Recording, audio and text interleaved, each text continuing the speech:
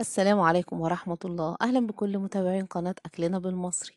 معكم هويدا محمود. وإن شاء الله النهاردة هعمل اللحمة بطريقة بسيطة جدا آه، لكن الطعم هيكون مميز.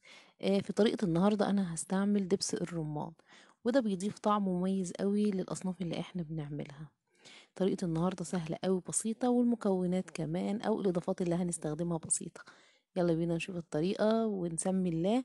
وأول حاجة طبعا هنبدأ بيها هو تشويح اللحمة. آه، في حلة غويطة آه، هحط معلقتين صغيرين من السمن البلدي أو أي نوع سمن يعني بن- بنفضل إن إحنا نستخدمه ومعاه حوالي ربع كوباية صغيرة من الزيت. آه، هسيب السمن والزيت يسخنوا قوي بعد كده هنزل اللحمة بالشكل ده. آه، إحنا هنا بنقول إيه؟ هنعمل صدمة للحمة. آه، في متابعة في مرة قالت لي أنا بسخن السمنة وبنزل اللحمة بالشكل ده ومش بتعمل لها صدمة ولا حاجة وبلاقي إن اللحمة نزلت المية اللي فيها كلها. آه، اللي هنعمله حاجة واحدة إن إحنا هنستخدم حلة تكون واسعة والسمنة أو الزيت يسخنوا كويس قوي ونوزع قطع اللحمة بالشكل ده. آه، زي ما هنشوف دلوقتي كده مفيش مية نزلت من اللحمة خالص. آه، أنا أحيانا لما بستعجل على ال- اللحمة يعني وما بخليش السمنة تسخن قوي آه، بلاقي فعلا إن اللحمة نزلت المية بتاعتها. لكن بالشكل ده وبالطريقة دي مش هتنزل المية خالص وهتحتفظ بالسوائل بتاعتها جواها. هسيب بقى اللحمة آه، يعني تاخد كده لون بسيط وهقطع في الفترة دي آه، بصلتين بحجم وسط وتلات قرون من الفلفل الرومي وواحدتين كبار من الطماطم آه، هقطعهم لحتت صغيرة آه، هرجع للحمة. هي أخدت لون بسيط وهبتدي بقى إن أنا إيه أشوحها كده لحد ما تاخد لون من كل الجوانب. هنزل على اللحمة مقدار البصل والفلفل والطماطم. في الأول يعني هنزل البصل بس. آه، هدي تشويحة كده للبصل علشان آه، الطماطم لو أنا نزلتها في الأول هت هتطلع برضو المية بتاعتها على طول والبصل يعني مش هيدبل يعني هيبتدي إن هو يشرب مية القوطة وهيبقى طري من البداية يعني أنا عايزة طعم البصل يظهر في الأول.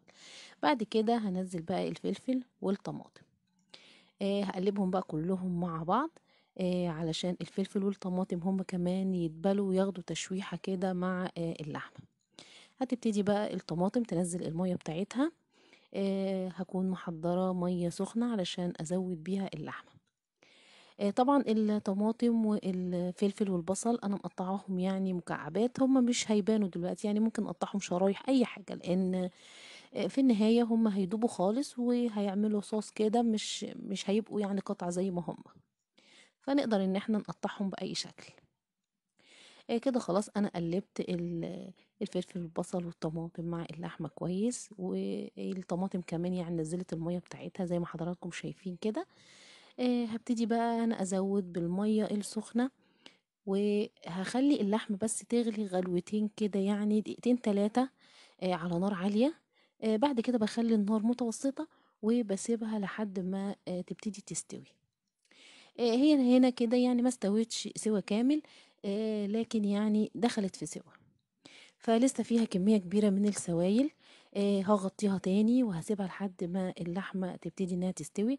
ولو لاحظنا إن المية آه، نشفت ولسه اللحمة نية هنزودها تاني شوية من المية السخنة.